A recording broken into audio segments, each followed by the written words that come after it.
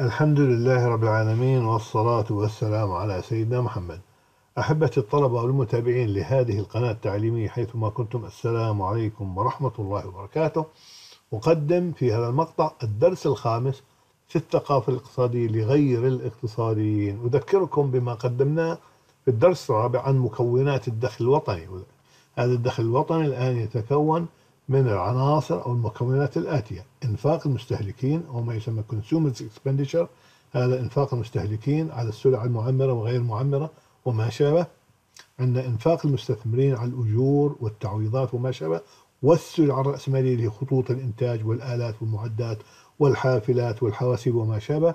عندنا الإنفاق الحكومي الآن على آه، النفقات جارية اللي هي رواتب وأجور وتعويضات وما شابه.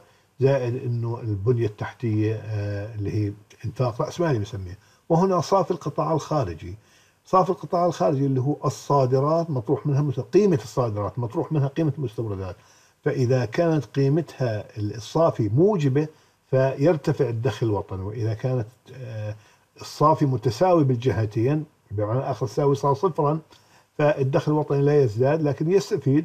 أما إذا كان الآن الصادرات أقل من المستوردات قيمة فبكون الدخل الوطني ينخفض إذا يتكون من هذه المكونات الأربعة إنفاق المستهلكين إنفاق المستثمرين إنفاق الحكومة وصافي القطاع الخارجي. أرجو الرجوع إلى الدروس الأربعة الأولى حتى تكون المعلومات تراكمية بإذن الله. نكمل على بركة الله. الآن نطرح السؤال البسيط والمهم بماذا يتأثر كل مكون من مكونات الدخل الوطني؟ ونبدأ بالحديث عن الإنفاق الاستهلاكي. بماذا يتأثر الاستهلاك أو الإنفاق الاستهلاكي؟ أنت وأنا في الأسرة التي ننضوي تحتها أو يعني نتبع لها بماذا يتأثر الإنفاق المصروف الشهري أو الأسبوعي أو على المواد الغذائية الطعام والشراب والملابس والأثاث وما شابه؟ الآن أولا لابد أن نذكر بأن الدخل الشخصي المتاح الدخل الشخصي اللي هو الدخل الإجمالي مطروح منه الآن الضرائب آه، والالتزامات الأخرى. فهذا الدخل الشخصي يذهب في قناتين الإنفاق الاستهلاكي والادخار. إذا الآن الدخل الشخصي على سبيل المثال المتاح لي أنا 100 دينار شهريا فيذهب جزء من 100 دينار إلى الإنفاق الاستهلاكي وما تبقى يذهب إلى الادخار.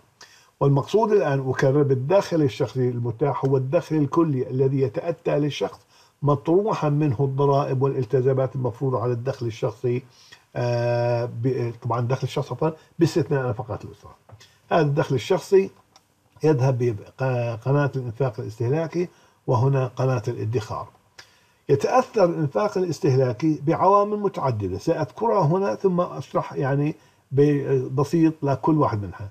الدخل في يأتي الدخل يعني العوامل التي تؤثر بالإنفاق الاستهلاكي بمستوى آه، معيشة الأسرة بمستوى رفاهها بمستوى استهلاكها الدخل مستوى أسعار السلع ثروة الشخص أو الأسرة مديونية الأسرة السياسة المالية التي تؤثر في مستوى الضرائب تحويلات الحكومة للأفراد والأسر توقعات المستهلكين عن عن أسعار المستقبل ودخل المستقبل توافر السلع والخدمات التي يشتريها الأفراد أو الأسرة أو الأسر تضخم الأسعار أسعار الفائدة الأحوال النفسية والشخصية للأفراد.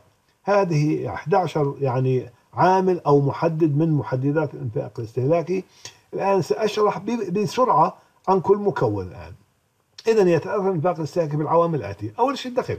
الدخل مصدر أساسي. يعني عندما يرتفع الدخل معنى ذلك يرتفع الإنفاق الاستهلاكي يرتفع الادخار معه. وعندما ينخفض وبالتالي يؤثر سلبا على الإنفاق الاستهلاكي ويؤثر سلبا على الادخار. ثاني مستوى الأسعار. عندما تكون أسعار مرتفعة الناس يحجموا يقللون من من مشترياتهم من السلع الاستهلاكيه الطعام والشراب وما شابه. وإذا انخفضت الأسعار يقبلوا عليها. وإذا ارتفعت الأسعار يقبلوا على الادخار أكثر بالحالة هاي.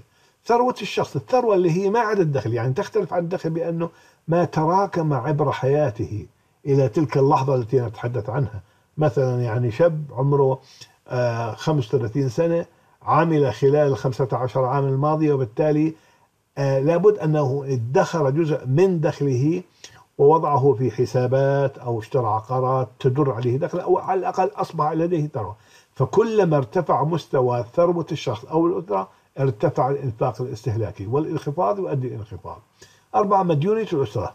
الآن الديون التي تترتب على الأسرة أو أفرادها الآن تؤثر على مستوى الإنفاق الاستهلاكي. فعندما ترتفع المديونية آه، يقل الإنفاق الاستهلاكي والعكس صحيح.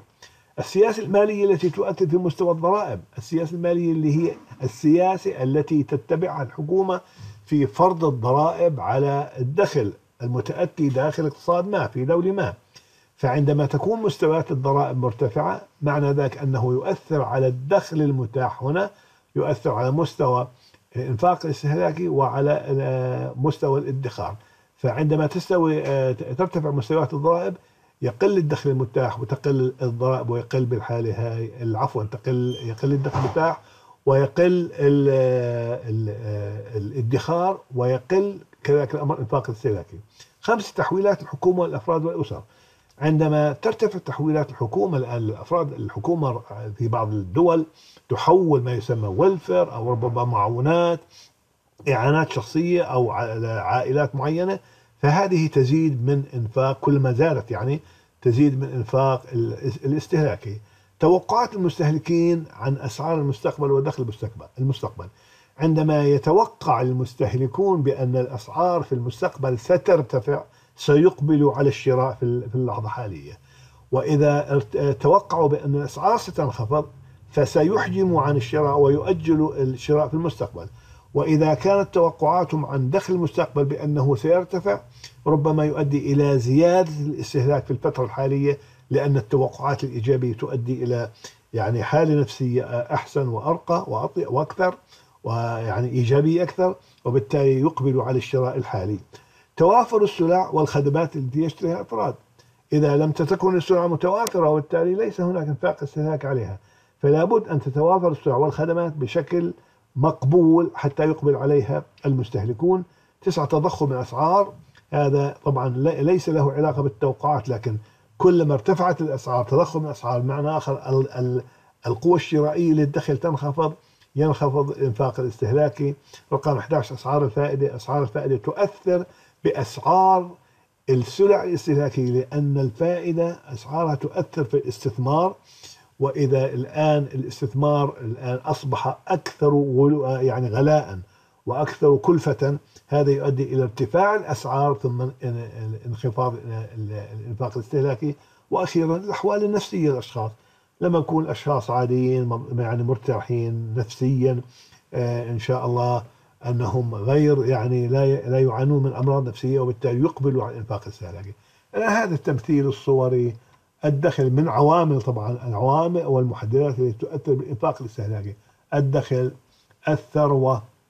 هنا عندي هنا الديون. إذا كانت الديون طبعا هنا تؤثر كل ما ارتفع الدخل ارتفع الإنفاق الاستهلاكي كل ما ارتفعت الثروة ارتفع الإنفاق الاستهلاكي كل ما زالت الديون قل أو انخفض الإنفاق الاستهلاكي الآن هنا لاحظوا ديون وقروض عليه قروض هذا الشخص لهذا السبب يلطم انظروا إلى وجهه. فعليه ديون وعليه يعني ديون وقروض الآن آه، وضرائب. هنا يبدو أني غلطت أنا بالطباعة هنا ديون له قروض وعليه ضرائب. هنا فاعذروني على هذا الخطأ. فكلما زاد الضغط عليه قل الإنفاق الاستهلاكي هنا إذا كانت الأسعار منخفضة تخفيضات 5% يقبل الناس على الشراء. هنا أسعار الفائدة عندما ترتفع أسعار الفائدة وبالتالي تؤدي إلى زيادة كلفة الاستثمارات وهذا زيادة كلفة الاستثمارات تؤدي إلى رفع أسعار السلع الاستهلاكية وبالتالي انخفاض الشراء. هنا الآن آه، التضخم عندما ترتفع أسعار السلع آه، يقل الإقبال عليها. هنا الأحوال الشخصية النفسية للأشخاص لما يكونوا مرتاحين على عكس الأمراض النفسية التي يعاني منها هنا وهنا الضرائب وأخيرا عندي حوالات ومعونات الحكومة. عندما ترتفع الضرائب بتقل الآن بقل الإنفاق الاستهلاكي وعندما ترتفع حوالات ومعونات الحكومة يرتفع الإنفاق الاستهلاكي. أكون بذلك قد انتهيت من هذا المقطع السريع. راجيا أن أكون قدمت لكم الفائدة. أرجو منكم أحبتي الطلبة والمتابعين الرجوع إلى الدروس تباعا الأول والثاني والثالث والرابع وهذا هو الخامس حتى تكون المعرفة والعلم لديكم تراكمي بإذن الله تعالى. وإلى لقاء آخر بإذن الله في الدرس الثالث والسلام عليكم ورحمة الله وبركاته.